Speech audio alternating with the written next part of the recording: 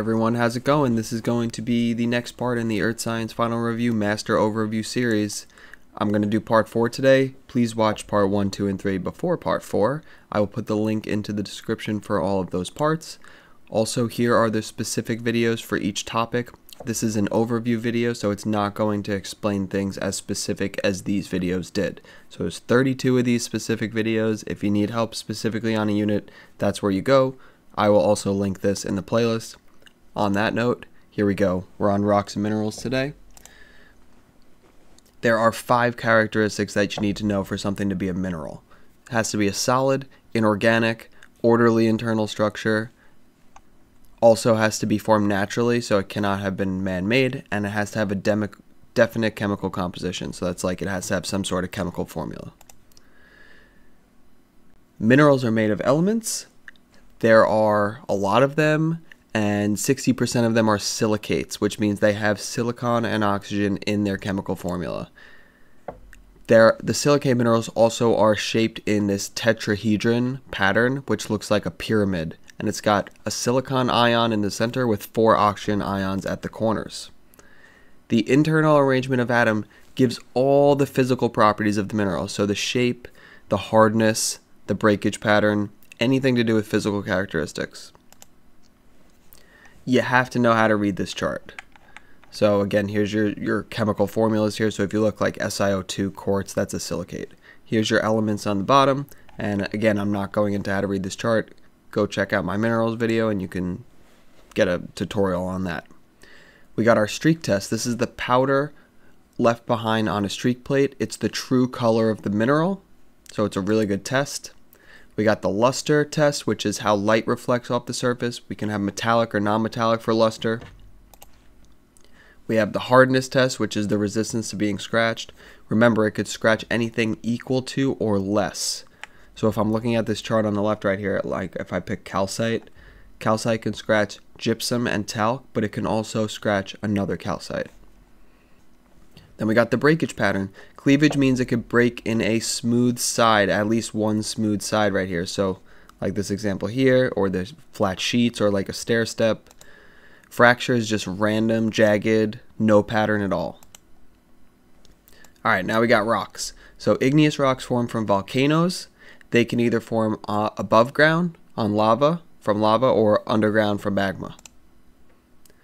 Extrusive rocks cool really quickly on the surface, and intrusive rocks cool slowly underground. And this is going to be the major thing for igneous. You have to know how to read the igneous rock chart. Again, not explaining it here. What is only in igneous rocks? So you can have intergrown crystals, glassy texture, and vesicular texture. You should know how to read this particle size to water velocity chart. I'm not explaining it here. It's in the other videos, so go check it out.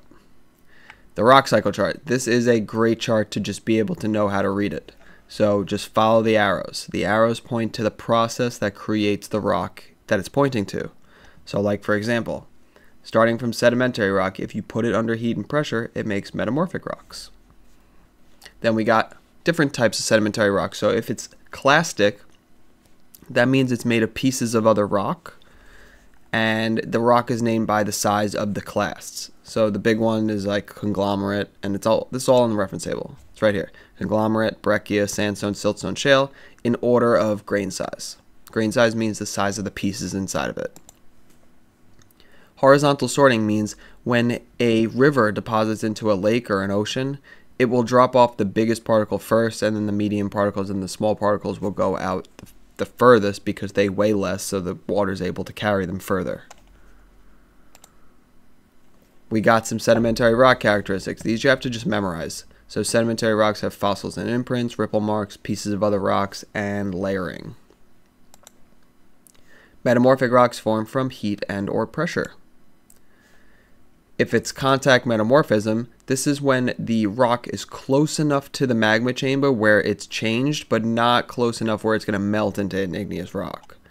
So we want it to just be near enough to feel the heat, essentially, to metamorphosize it. Here are the four characteristics of metamorphic rocks. We got mineral alignment, we got foliated or non-foliated, we got banding, and distorted structure. All right, we're on the next unit. Here we go for Wedgel. So I, I just named this unit Wedgel. You, depending on your school, you might name it something else. So it's weathering, erosion, deposition, glaciers, and landscapes. Here we go. Physical weathering. So changes in the appearance or form of the material, but it doesn't change into a different substance. So you're just changing what it looks like.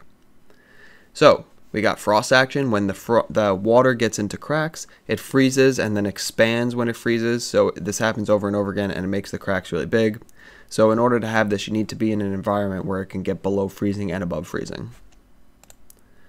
We got abrasion. This is rocks hitting into other rocks somehow. So they can be rubbed into the rock or smashed into them by mostly wind or water. Rocks that are weathered by water specifically tumble along the bottom of the, the floor or get hit by other rocks and the, the edges chip off and it rounds and smooths them.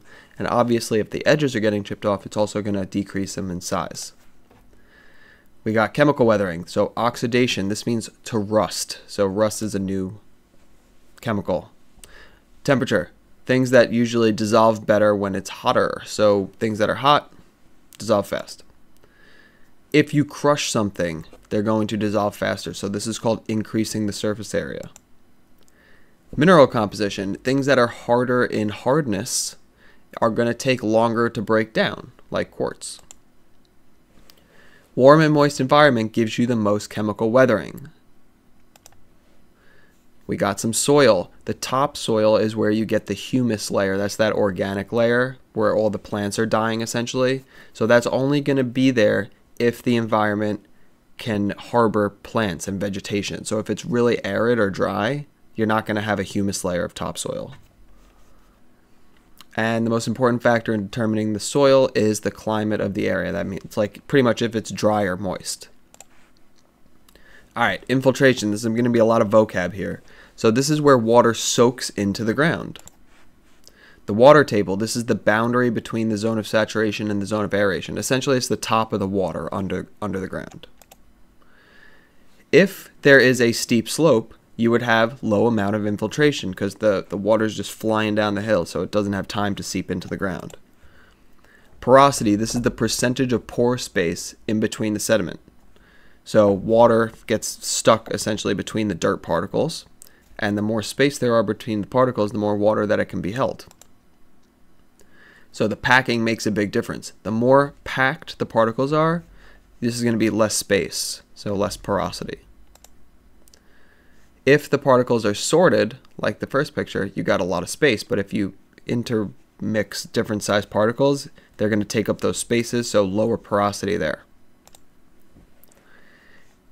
this is like the one question where it's equal. So if you have equal volume right here, but different size, same shape, this is going to be equal porosity, all three of those. Then we got permeability, how fast the water can go through the sediment. So if something's permeable, it allows water to pass through it. So the bigger the particles, the bigger the space between the particles, so it's got better permeability. Capillary action is when the material goes upwards through the sediment. So the sm it works best in the smallest size particles.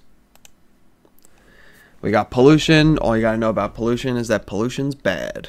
It destroys plants and animal life. Then we got erosion. It's the transport of sediments from one location to another. What causes them? Landslides, avalanches. This is going to be from gravity. These are called mass movements. We got wind.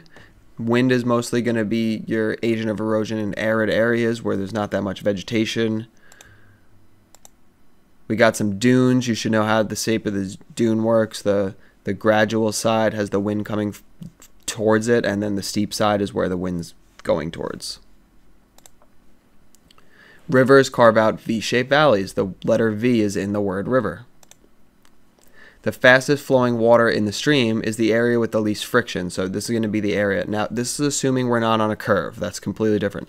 In a straight river, this is going to be the area where in the gray where it's fastest because it's not rubbing against anything. Larger sediment carried by a glacier can create parallel scratches called striations in rock surface. We got glacial erratics, which are giant boulders that are dropped off by a glacier because they're so heavy. Glaciers make U-shaped valleys. Remember, rivers make V-shaped valleys, glaciers make U. Stream discharge just means the volume of water moving down the stream. So it's how much water is in the, the river. The mouth is where it empties out. So the more water in the river, the faster the river will flow. It's like more power. The faster the river goes, the bigger the particle size it can move. Then we got the different types of river valleys. So youthful valleys generally have faster water because they're so steep. Mature valleys are less steep, but they'll have more tributaries. They'll start meandering. They'll get floodplains. They widen out. They have some oxbow lakes, which are cut off meanders. All right, this is what I was saying before. On the outside of a curve, the water is the fastest, so that's where all your erosion is going to be. So that's the right side of this picture over here. I tell my students it looks like a Nike swoosh, like on a sneaker. And like the, the swoosh part is where the erosion is. That would be the outside of the curve. The slowest part, the inside of the curve, it's so slow that all of the material is deposited there. So we said this, this is horizontal sorting. I'm to go, go on. So glaciers, we got valley glaciers, which are in a mountain essentially, or continental glacier, which is just a giant ice sheet like Antarctica. Glaciers create angular and sharp features. They're all unsorted.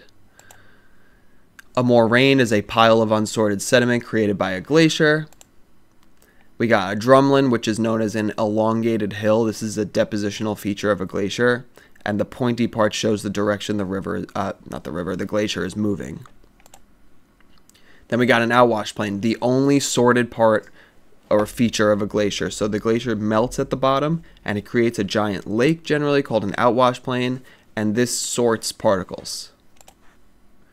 We can have a kettle lake. This is when a giant piece of ice pushes down into the ground, it melts and fills with water. The Finger Lakes on the reference table uh, were formed from glaciers. They moved from the north to the south. Then we got some beach stuff. Longshore current, the waves strike the beach at an angle, so it causes sand to move down the beach. We got groins and jetties. These are giant walls that they help prevent beach erosion. They grow the beach back. And a barrier island down here protects our coastline from storms and hurricanes. So you should know how to read these landscape maps. Uh, uplifting forces means that mountains are being formed, so the landscape's going up. And leveling force means it's getting eroded or it's getting flattened. So that's going to be your plains or plateaus. Plateaus are not only considered flat, they can also be considered rolling hills. Plains are definitely flat. They have a lot of meandering streams on them. Here's a nice little chart. Humid versus arid climates and what the, the landscape would look like if you look at the picture. Humid climates are gentle, fertile land, and chemical weathering, and then arid climates are steep, rocky, and physical weathering. This is like a desert versus a rainforest, essentially.